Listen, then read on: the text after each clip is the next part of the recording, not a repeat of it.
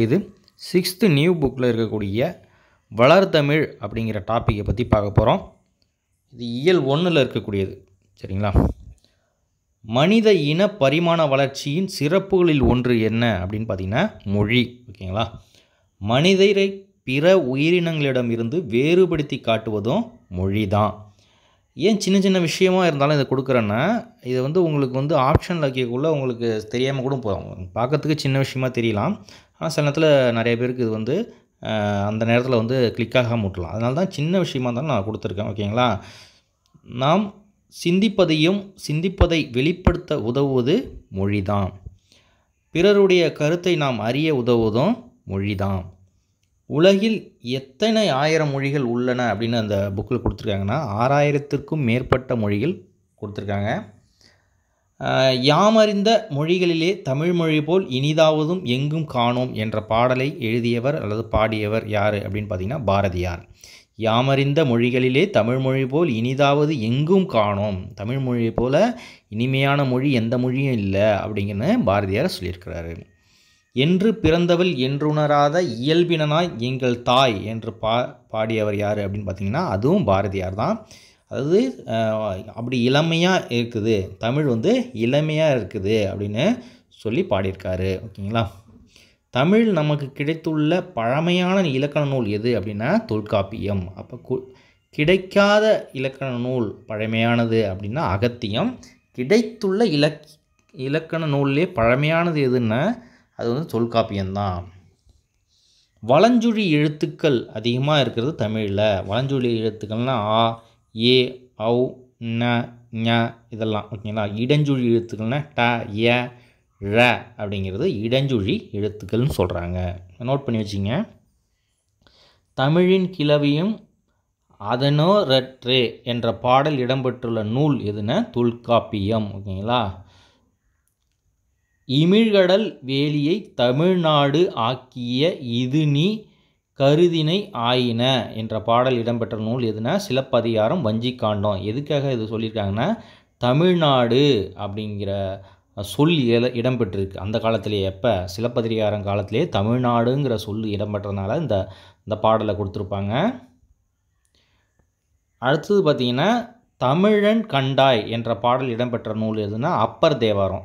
இதில் தமிழன்கிற வார்த்தை இடம்பெற்றிருக்கு. அதுபோல் இந்த தொல்காப்பியம் சொன்னல தமிழின் கிளவியும் அப்படின்னா தமிழுங்கிற வார்த்தை இடம்பெற்றதுனால தமிழன் கிளவியும் அது தொல்காப்பியத்தில் இடம்பெற்றிருக்கிறதுனால அதை சொல்லியிருக்காங்க. ஓகேங்களா? அப்போது தமிழ் தமிழன் அதுபோல் தமிழ்நா அதாவது தமிழ்நாடு தமிழன் இது மூணுமே இதில் கொடுத்துருக்காங்க. எது இதில் இடம்பெற்றிருக்கு அப்படின்னு? அப்பர் தேவாரத்தில் தமிழன் கண்டாய் அதாவது தமிழன்னு சொல்லியிருக்காங்க. ஓகேங்களா?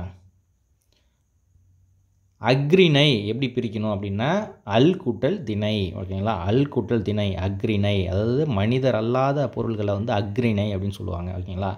அக்ரிணை என்றால் உயர்வு அல்லாத திணைன்னு பொருள் ஓகேங்களா? உயர்வு அல்லாத திணை அப்படின்னு பொருள் அக்ரிணைங்கிறது பாகற்காய் பாகு கூட்டல் அல் கூட்டல் காய். அதாவது பாகற்காய்ங்க கசப்பான ஒரு விஷயம் பாகற்காய்ங்கிறது. அதையே எப்படி நாசுக்காக சொல்லியிருக்காங்க அப்படின்னா பாகு இல்லாத அதாவது இனிப்பு இல்லாத காய். ஓகேங்களா? இனிப்பு இல்லாத பாகு அல் கூட்டல் காய். பா பாகு அல்லாத காய் அப்படின்னு சொல்லுவாங்க. அதாவது பார்த்திங்கன்னா இனிப்பு அல்லாத காய் அப்படின்னு கசப்புன்னு சொல்லாமல் இனிப்பு அல்லாத காய் அப்படின்னு யூஸ் பண்ணியிருக்காங்க அப்படின்னு சொல்கிறாங்க தொல்காப்பியம் நன்னூல் போன்றவை என்ன அப்படின்னா இலக்கண நூல்கள். நன்னூல் வந்து இலக்கண நூல். ஓகேங்களா? தொல்காப்பியமும் இலக்கண நூல்.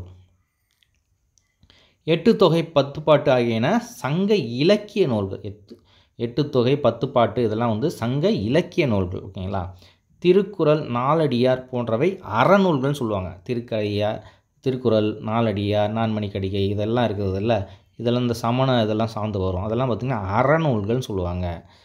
ஆத்திச்சூடி இதெல்லாம் கூட இதில் வரும்.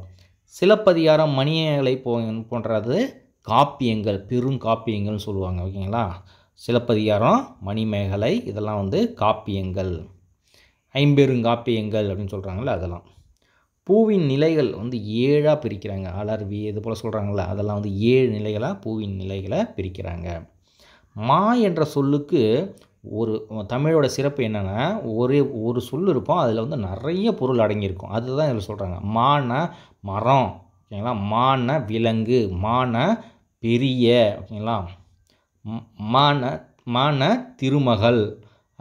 அழகு அறிவு அளவு அழைத்தல் துகள் மேன்மை வயல் வண்டு ஓகேங்களா? மான இதுதான் அர்த்தம் ஓகேங்களா? மான மரம். மா வராது ம ஓகேங்களா? மா தான் நினைக்கிறேன் அது. அதை நோட் பண்ணிக்கோங்க. எண்ணத்தை வெளிப்படுத்துவது இயல் தமிழ் ஓகேங்களா? எண்ணத்தை வெளிப்படுத்துவது இயல் தமிழ். எண்ணத்தை வெளிப்படுத்தக்கூடியது தான் இயல் தமிழ் இயற்தமிழ் இசைத்தமிழ் நாடகத்தமிழ் முத்தமிழ்னு சொல்லுவோம்ல அதை தான் சொல்கிறாங்க உள்ளத்தை மகிழ்விப்பது இது இசை இசைத்தமிழ் ஓகேங்களா? உணர்வில் கலந்து வாழ்வின் நிறைகுறைகளை சுட்டி காட்டுவது இது நாடகத்தமிழ் அப்படியே கேட்பாங்க ஓகேங்களா? இதெல்லாம் அப்படியே கேட்பாங்க ரொம்ப நோட் பண்ணி வச்சுங்க துளிப்பா அப்படின்றது கவிதை புதுக்கவிதை கவிதை செய்யுள் இதெல்லாம் வந்து கவிதை வடிவங்கள். துளிப்பாங்கிறது கவிதை வடி வடிவம் ஓகேங்களா? துளிப்பாங்கிறது கவிதை வடிவம்.